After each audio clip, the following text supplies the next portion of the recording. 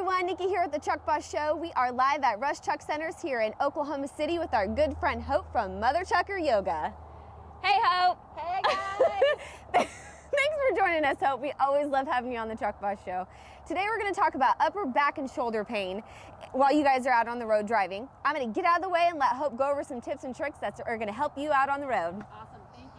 All right, upper back pain when you're driving is the pits, and you're stressed, you're on the road. Next thing you know, you're almost on top of the wheel because you're fo- so focused on what you're doing. So, I'm gonna show you a really quick move that you can safely do while you're driving, and one that you might wanna pull over and do when you start getting that pain between your shoulder blades or that pain in the neck or even in the shoulders. This is one, actually, two moves that you're gonna be able to do safely in your rig. All right, so the first one you're gonna be doing while you're safely stopped in your truck. Grabbing hold of the wheel, cross your arms and grab hold of each side. Now take a nice deep breath in and sit tall. And as you exhale, hold on to the wheel and start to round your back and pull backwards. You're gonna feel a nice stretch down your deltoids and through the upper back. Take a couple good breaths now and drop your head.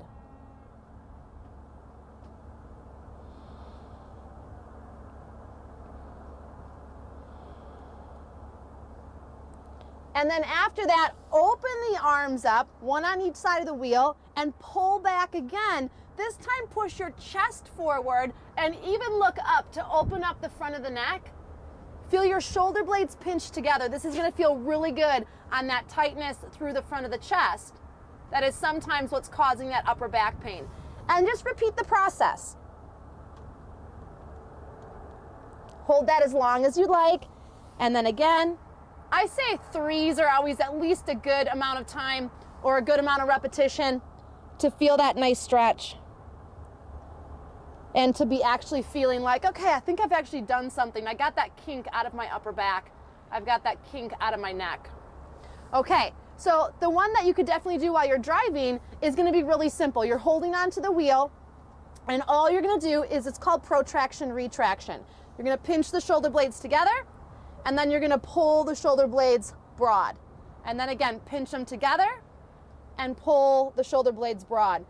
And you're just gonna continue to do that several times to help loosen up some of those areas in the upper back that get pulled tight or tend to get a knot from funky posture while you're driving. I know you drivers out there, I've heard from you, you get very creative while you're driving.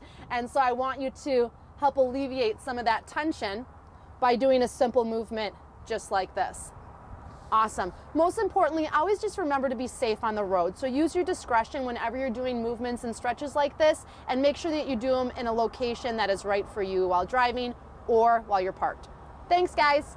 I don't know about y'all, but I'm feeling better already. Thanks so much to Hope from Mother Trucker Yoga. Can't wait to have her on in the future.